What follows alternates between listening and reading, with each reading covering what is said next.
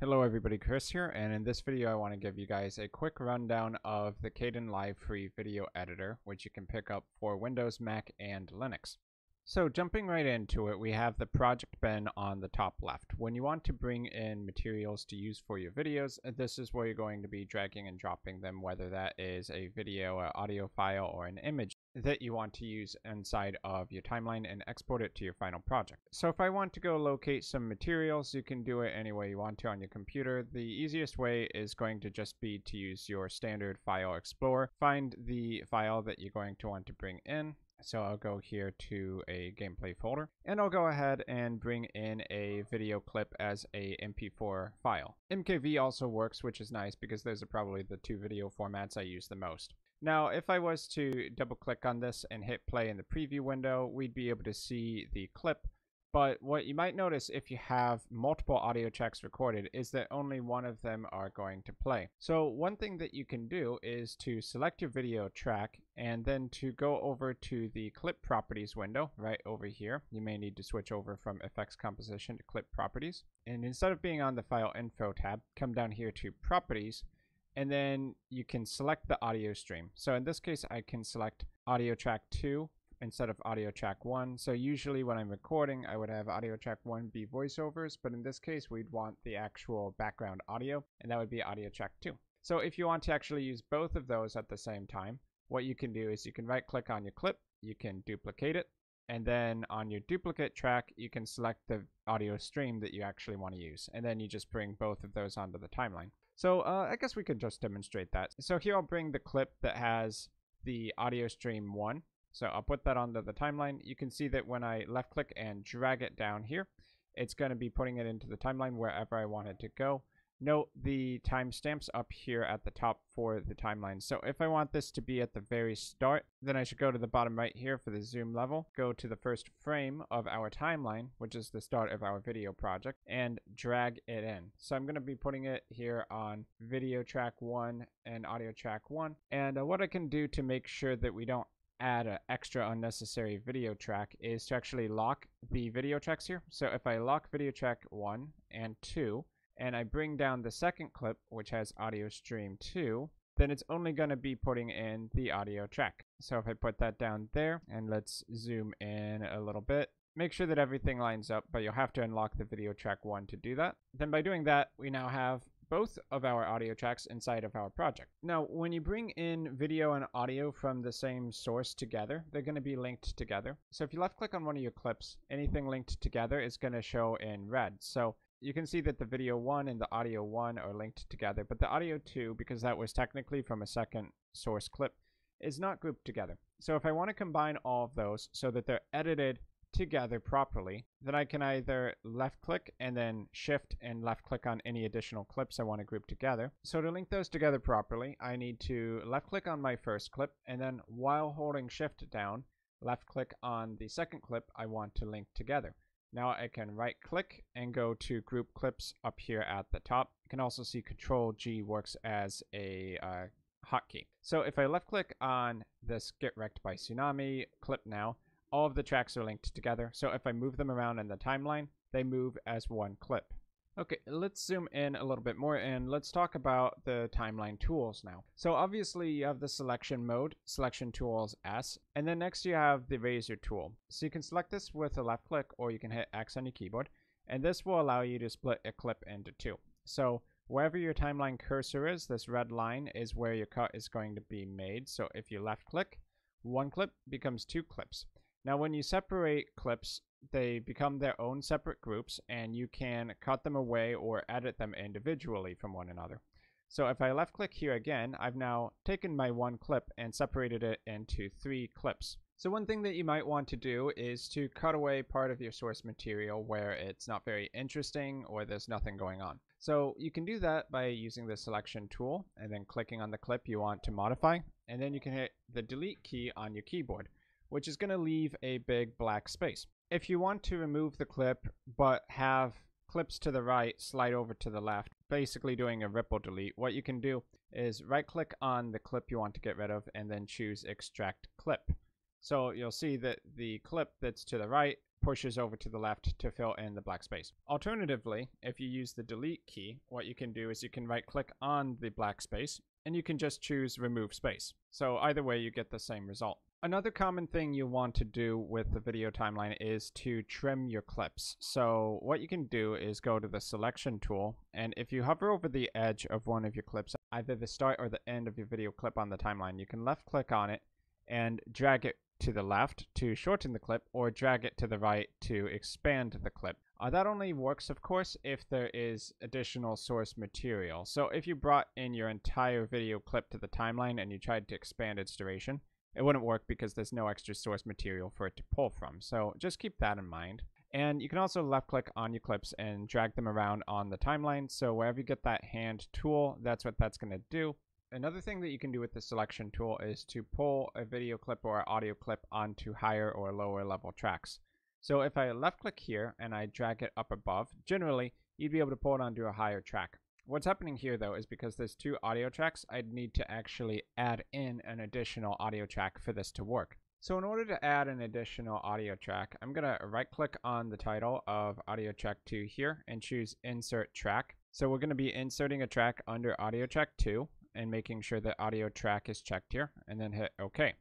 So now that we have three audio tracks, we should be able to pull this video and audio track up one level. So you can see because they're linked together, they jump up one track or down one track at the same time. And you have to have a spare video track and audio track if you want to move them up one level. So the spacer tool is actually pretty similar to the selection tool. It allows you to move clips around. One difference I have noticed about the spacer tool is that if you go to a clip that is on the left of stuff that's to the right on the video timeline, and you left click it, it's actually going to push all of the video information at once. So by doing this, you can change the position of your video clip, but everything to the right is going to move the same duration in sequence. So if you want to move everything at once, rather than having to select your tracks individually, then the spacer tool might help you out a little bit there. Of course, one very handy thing is that snapping is enabled by default. So if I want to pull these two clips together, I could do that using the selection tool or the spacer tool. So I'm going to left click and pull this over here to the left. And you can see that they snap together perfectly. Really handy to have that when you want to set up transitions. So just when you want to make sure you don't accidentally end up with black space. So let's push these two clips to the left using the spacer tool. And by using that, we get it done at once. So if you want to edit your title, double click on the template title clip. Uh, not the title part, but anywhere else. So if you hit OK, you'll see the text appear in the center here. So we're going to want to double click on this and we can change some settings about it. For instance, the text, we want to change that. So I'm going to select all the text, delete it, and I'm going to type Chris apostrophe tutorials. So Chris's tutorials. And then we also have the ability to customize the position. So a simple way you can do that is to align center up here. So center horizontally and vertically center as well. Now when we do that, you may notice it changes the values over here. So this is the precise pixel positioning of your horizontal positioning and your vertical positioning. So if you need to adjust it off the center, then you can change those values. If you want to add an image to your text, you can do that up here. You can also add rectangle boxes if you need like a black background for your text to stand on top of. And you can also add additional text elements. So you can select the font name here and then left click on the drop down menu, find any font you have installed on your computer and apply it there. If you want to get rid of the outline, you can just kind of take the outline pixel value and set it to 1 or 0. You could also change the outline color so that it just blurs with the outline. And you can do a drop shadow if you want by clicking on there and giving it a blur value and an offset. So the offset is going to move the shadow in a direction away from where the source text is. And when you set a blur value, it's going to make it so that the shadow isn't completely sharp. So if I set the blur to zero, you'll see that the shadow is 100% uh, sharp. So I could do offset 5 and then offset 5 for the Y as well. And then we have the shadow with no blur. It looks like the original text with blur, it is a little bit hard to tell what's going on there. So that's the idea. Okay, so let's say that we wanted to keep this title template. Uh, we can go up here to the save. So we can save this as a new title template, which is currently storing in a default directory for Kdenlive. So I'll just call this Chris Tutorials title and hit save. It's at the bottom, which my Windows taskbar was hiding a bit, there are some additional tools. So zoom over here if you want to select everything and deselect everything if you want to show a background, but most notably the OK button. So make sure that when you're done, you hit OK so that it can actually apply to uh, your video. And in this case, because we already saved it as a separate file, I'm not going to save it to a title file to reuse. I'm just going to save it in the project only. So you can see how the text appears there on the screen. Uh, may need to go back in and reposition it. So in the case of this text, let's actually double click that real fast. And I'm going to select this and I'm going to align it vertically in the center and make sure that it is vertically aligned in terms of its positioning on the screen with these buttons as well. So we can hit OK and now it's centered again. We can drag the title clip onto the project as video track 2. And now when we hover over the part where it has video track 2, we can see our title appearing in the screen. I can also hit space on the keyboard to play it back with the base underlying video clip and the title on top. So if you want to edit the title more, just double click it and then you can select the text, increase the size, whatever you need, recenter it, hit OK. Okay, and that basically in a nutshell is how you can add a very simple title to Kdenlive. So now let's talk about some of the built-in effects in Kdenlive. So if I move these panels over here a little bit, you'll have uh, compositions and effects panel over here. So there's a few tabs. If you want to do all the video effects, you can click here. Audio effects are over here. And then over on the right, you have favorites, which I guess there's a few added on here by default so you can navigate these menus and try to find some effects that you might want. So under the color tool, you can see a lot of options here, for instance. So the sepia is kind of going to churn everything brown if we apply it to a video clip. So if you want to apply an effect like sepia, you can drag it on to your clips down here. And you can see it'll show sepia right under the file name, indicating that it is added on. If you left click on the clip, and you go to the effect composition stack, you can see the effects which are here, including the ability to delete them and to change the values of those effects. So if you want your sepia effect to look a little different, change the hue color, then uh, you can do that here and that will come in handy. So uh, let's go ahead and hit play now and you can see how it looks with that sepia added on. Note that because it's a separate video clip, if we hit play there and it transitions to this next clip, even though it's from the same source material, it no longer has the same effects on it. So that would be another reason you would separate your clips. Okay, so let's find one more effect, image adjustment. We can come down here to mirror. I'll drag this onto this clip. And what you'll see is that with this effect, we're able to mirror one part of the screen across to the other side of the screen.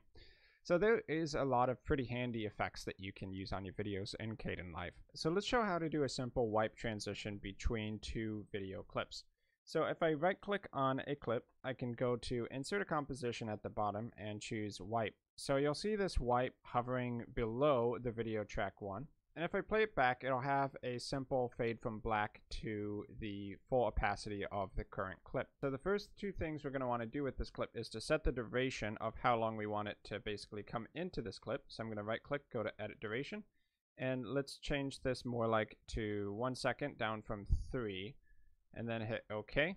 I'll also zoom in on the timeline so we can see a bit more about what we're doing. And next we're going to duplicate this clip. So I'm going to right click, go to copy. I'm going to deselect the clip. I'm going to hit Control V to paste it in. And now I'm going to move it and snap it to the left side of this cut border. And then to make the wipe on the left a fade out rather than a fade in, we're going to go over here, left click on it, and choose revert, which is going to reverse the direction. So if I play the whole thing back now, we get a fade out, and then it fades into the next clip. What we can also do is change the wipe method on each of them. So if you want a different kind of transition, um, like let's use this checkerboard, and I'll apply the checkerboard to both sides then we get a different kind of transition. So I'll play it back one more time. And we got a checkerboard out and a checkerboard in, and that's much cooler than just a standard dissolve. So let's wrap up this quick video on Kdenlive with how to render your project. So assuming you've made all your edits, everything's good, you position your title template where it actually belongs, and you've edited in your transitions where you need them to be, then we can go to the render button. It's the big red one up here at the top. So if we do render here, we're going to need to set a format and a location. So MP4 is obviously going to be really good if you want to export to the web. So I'm going to go ahead and use that here. we need to choose an output file location. So for now, the default, I guess we can use that. If you want to browse, you can click on this little folder button. And we're going to want to hit this render to file button. So when we do that, it's going to add it to the job queue down here.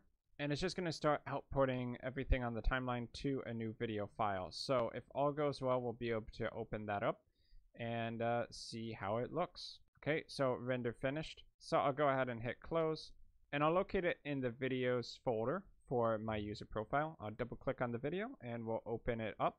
So if I turn on my audio to test it and hit play, I should be able to hear everything playing back. We have the little title. And then when we get about 13 seconds in, we have this checkerboard transition. So that in a nutshell is most of the basics for what you can do in Caden Kdenlive, including setting up the timeline, making basic edits, adding effects to your video clips, creating simple titles, adding transitions, and rendering your project. So that's going to be it for me for this video. I've been Chris. Thanks for watching, and I will see you guys in my future video content.